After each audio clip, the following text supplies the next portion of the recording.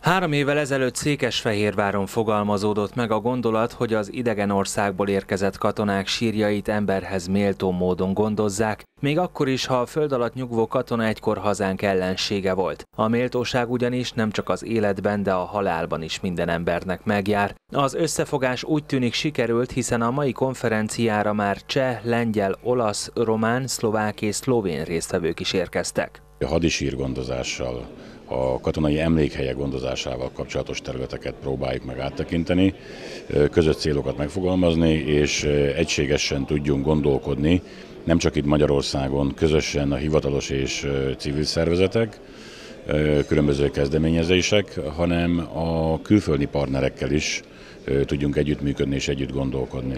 Spányi Antal megyés püspök szerint kegyelettel kell őrizni azoknak a katonáknak a sírjait, akik úgy haltak meg, hogy talán szeretteiktől elbúcsúzni sem tudtak, és szeretteik nem is sejtik, hogy vajon hol temették el őket.